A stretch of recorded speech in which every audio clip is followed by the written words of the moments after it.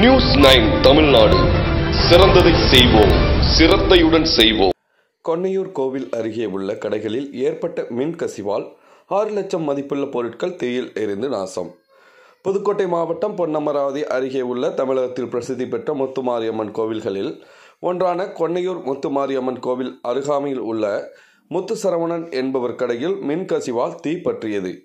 இரவில் நேரத்தில் ஏற்பட்ட தீ விபத்து காரணமாக தீ மலவளமென அடுத்தடுத்த கடைகளில் பரவி சுமார் ஆறு லட்சம் மதிப்பிலான பொருட்கள் தீயிலிருந்து நாசமாயின.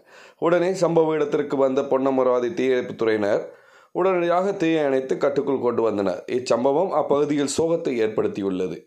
புதுக்கோட்டை செய்திகளுக்காக கிருஷ்ணமூர்த்தி.